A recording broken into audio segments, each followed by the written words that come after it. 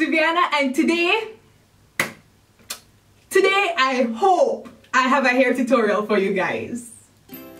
So before we start, let me give you a quick rundown on how the plans for this hairstyle came about. I was there sitting down in front of YouTube procrastinating when a video recommendation came up about croissants. So what do you do when you see a croissant video and you have your hair to do? Come up with a croissant hairstyle, of course. This was really supposed to be just a fling up hairstyle, you know? A quick, easy, casual hairdo probably taking you like two minutes to do and then because Vivianna just extra we got all of this okay we just we just got all of this I have no idea how this actually is going to turn out, clearly, because I just came up with it in my head. So, yeah. Let's get this tutorial started and hope for the best. so I'm starting out with my hair in a afro, a bit dry, so I'm gonna moisturize it. And this is a product of a jumbo twist out, about six of them I did. So first I'm going to start by separating the front section of hair that I'm going to apply this croissant inspiration to.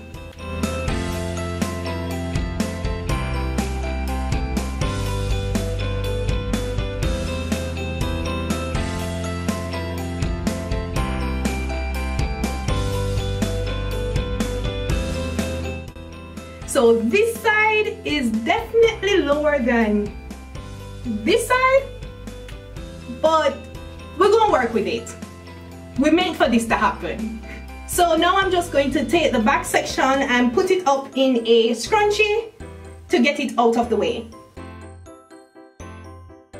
So with this front section, ooh, look at my puff. and this was with a regular scrunchie and it don't look too bad, it look. Anyways, focus. So in this front section, I'm going to separate it into four.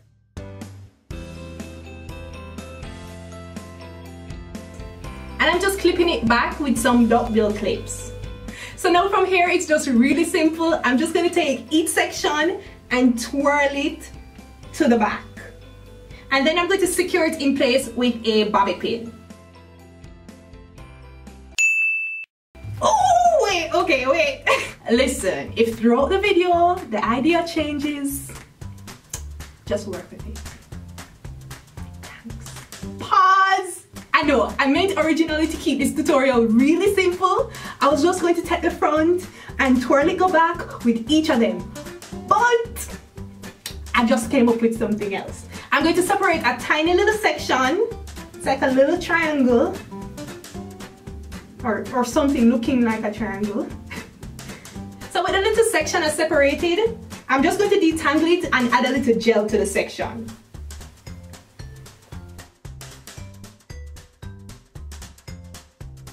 And I'm going to make a flat twist going forward. And with the ends, I'm going to twist it very loosely.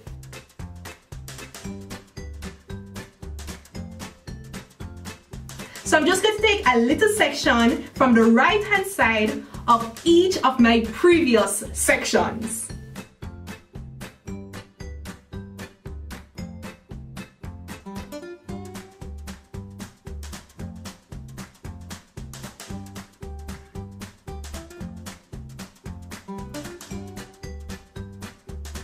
So my twists are done.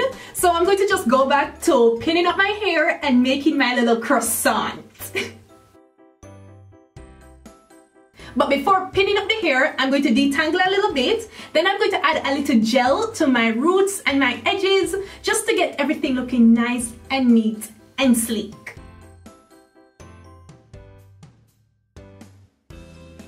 And when the hair is nice and smooth, I'm going to very loosely twirl the hair and tuck it onto itself. Then I'm going to use a bobby pin and I'm going to secure it.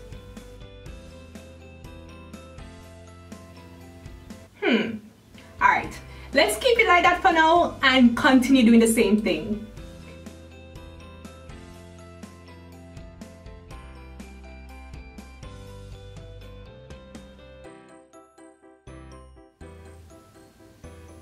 With this last twist, I'm going to pull it out and combine it with this last section. This is what happens when you have random ideas and you're trying to work with it, okay? You do stuff and change it.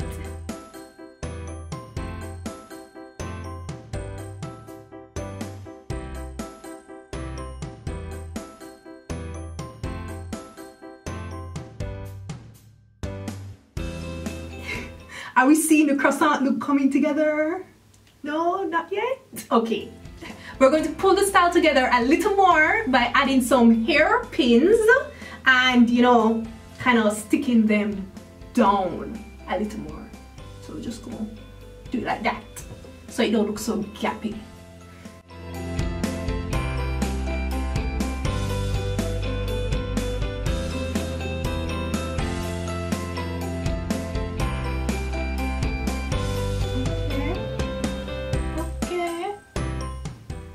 With these little twists hanging down, we're going to accentuate these creases by just pulling it back. Hmm.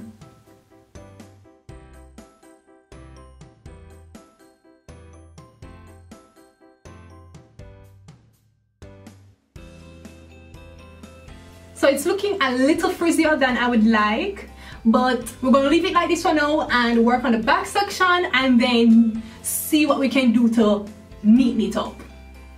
So with the back of the hair it's very simple. I just gonna put it up in a puff. I already showed you guys how I did my high puff so I'll have that tutorial up in the iCards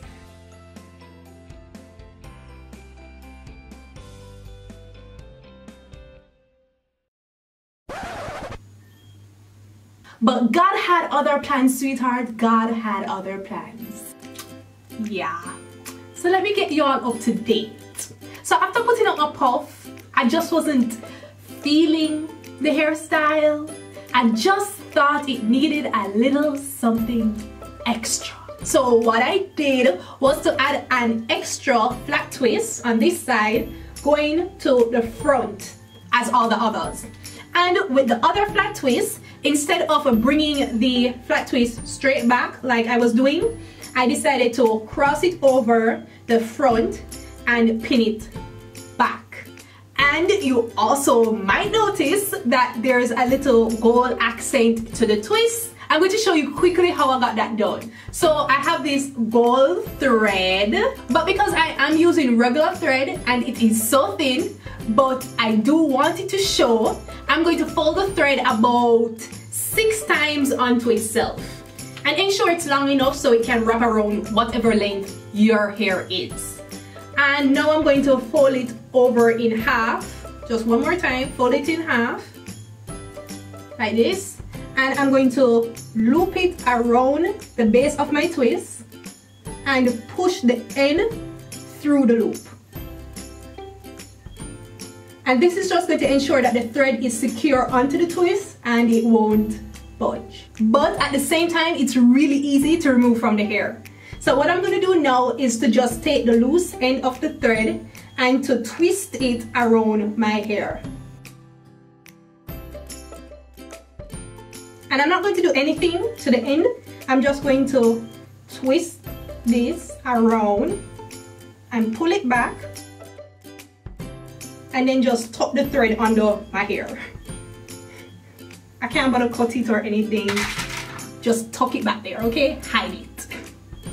And just to hide the beginning of the thread, I'm going to use my little gold clasp. Can you see it? Yes. And I'm going to put it at the beginning. Nice. That's cute. Do I like this though?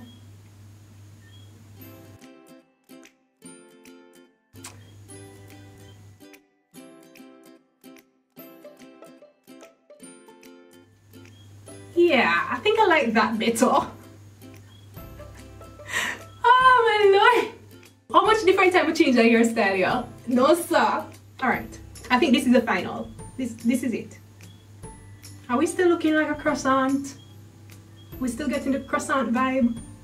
No? Yes? Let's just wait. Let's just wait to pass judgment, alright? Let's work on this back section.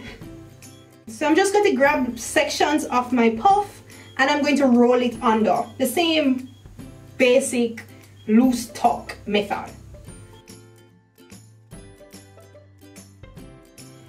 It's not bad. I like it. It's not bad. But it need a little tidying up. So I'm going to do my baby hair, brush it in, tie it down and allow it to set a little bit so that the flyaways can lay down and get information. And also, I'm going to add some gold clamps to my bun as well, just to bring together everything.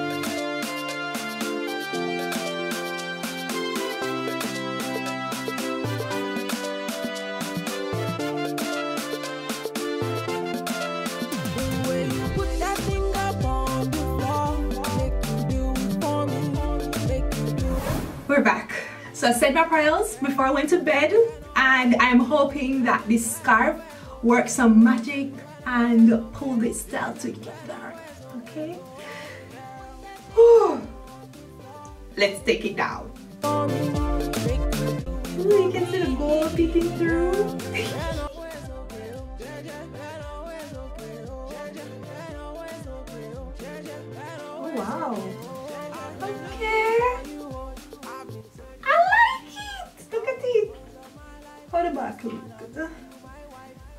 Me?